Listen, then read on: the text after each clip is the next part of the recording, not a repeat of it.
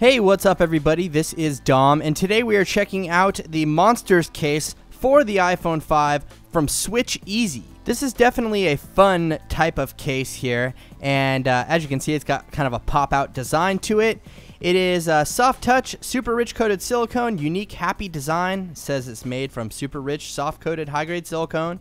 As you can see, we have two screen protectors included, a microfiber wipe, and we also have two connector protectors which will cover up the headphone jack and the lightning port on your iPhone 5 to keep it dust free. I really do like the packaging here. It's got a nice colorful feel to it, kind of a comic book style design to it, but enough talking about the package. Let's open it up, put it on the iPhone 5, and I'll let you know what I think. We just have to pull this tab back here and then open up the bottom of the packaging, and then we can pull the case out and remove this uh, protective plastic layer on it. As Switch Easy always does, they have included their little goodie package inside of the case. If we pull it out, you will find that we have our included screen protectors and uh, everything else inside of this little guy right here. So let's open this up and move all this out of the way. So as you can see, on the inside of the package, we have a little tutorial on how to install a screen protector in case you don't know how.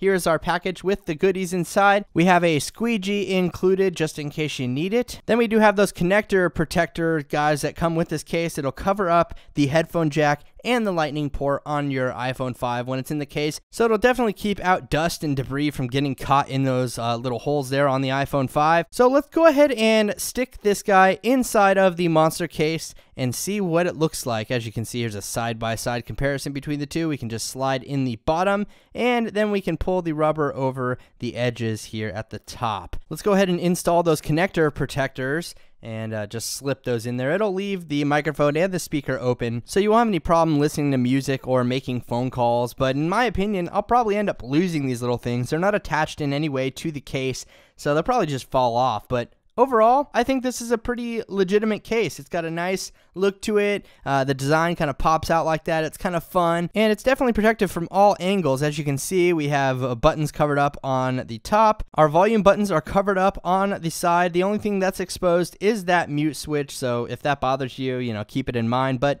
at the bottom, we're completely covered up. Again, you have to pull off these little connector protectors to get access to any of the ports, so you might be better off without them, but it's nice that they do give you that kind of protection if you want it. Currently, you can pick up the Switch Easy Monsters case in a wide variety of colors for about 20 bucks, and I'll be sure to link you down in the description if you want to go ahead and check it out. If you enjoyed this video, please don't forget to leave me a thumbs up and let me know what you think down in the comments below. Thanks again for watching, everybody. This is Dom, and have a great day.